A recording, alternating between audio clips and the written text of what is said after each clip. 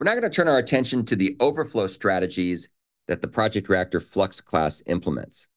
And as you'll see, there, there are five of them. We outlined them in the previous part of the lesson. Now we're going to look at them in detail.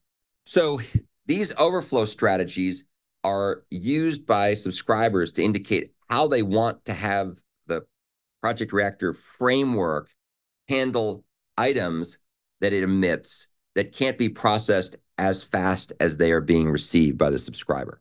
So let's talk about all five of these models. The first one is the buffer model. And that basically says, hey, if data is getting here faster than we can send it downstream, just put them in a queue, put them in a buffer somewhere, and then eventually they'll get a chance to get put downstream when the downstream can accept them.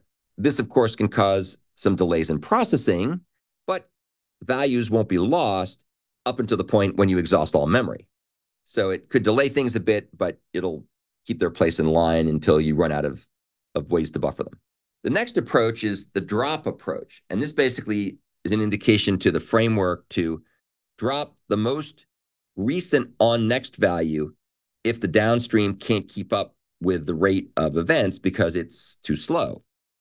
This is pretty much like having a voicemail box on your phone, which will drop voicemails once your your inbox is full, once your mailbox is full. So that's that's probably a good approximation to think of for this. Yet another approach is to throw an exception if the downstream can't keep up because it's too slow. Now, this is an example where the documentation in Project Reactor is incorrect. It says signal an illegal state exception when the downstream can't keep up. That is not what it does anymore. It may have done that in the past. Nowadays, it will throw the overflow exception. And if you want some more information about that, take a look at the link at the bottom of the slide where I worked with ChatGPT to check the documentation and get a fresher, modern view of what it's actually doing. So this is a good place to, to learn that. Once again, very, very hard to find this information on the web anywhere. So ChatGPT was a, a real help.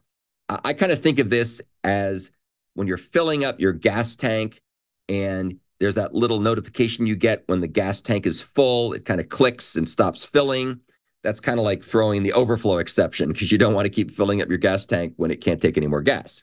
So that's kind of my human known use for this. The next overflow strategy is called ignore. And it basically says there should be no buffering or dropping.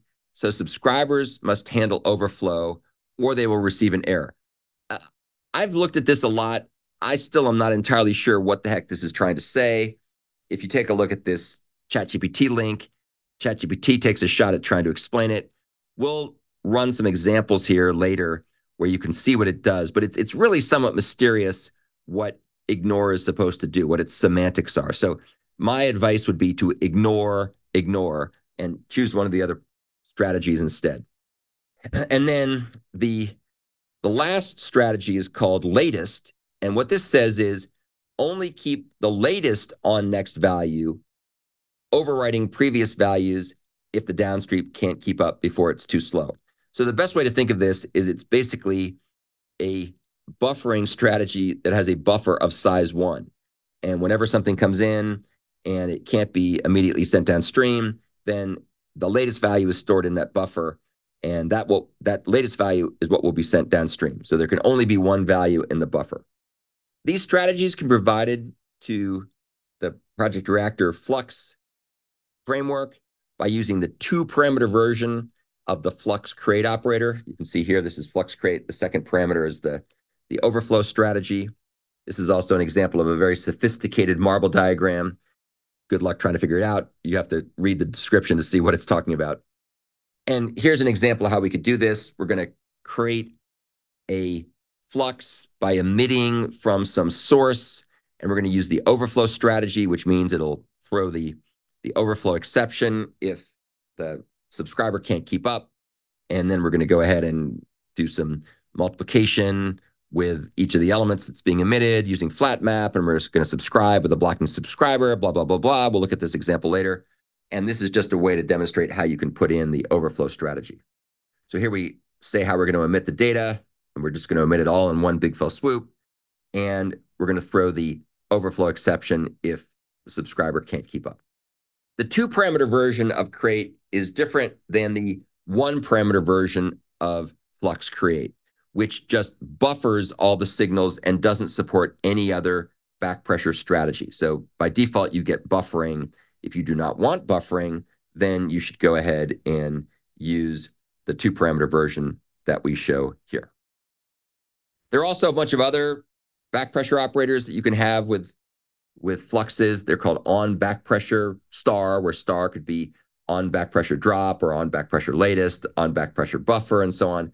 And you can use these throughout a pipeline of operators. So here's on back pressure drop. And what this says is ignore all the streamed items that can't be processed until the downstream can accept more of them. So in this case, we're going to have a bunch of mouse moves and we're going to use on pressure drop.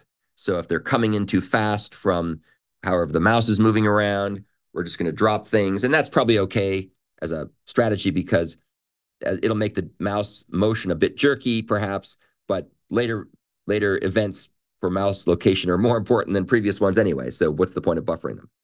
Here's another example. This is the on back pressure latest. This is like the drop strategy, but it only keeps the last item. This is going to be mouse clicks as opposed to mouse moves.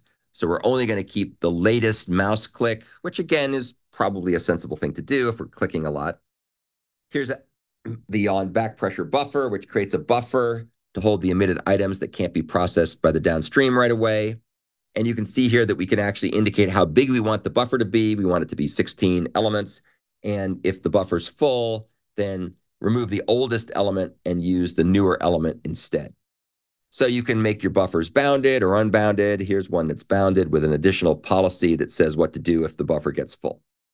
So you can see here we've got tremendous control over the overflow strategies for non-back pressure aware publishers and subscribers. So that wraps up the overview of the overflow strategies.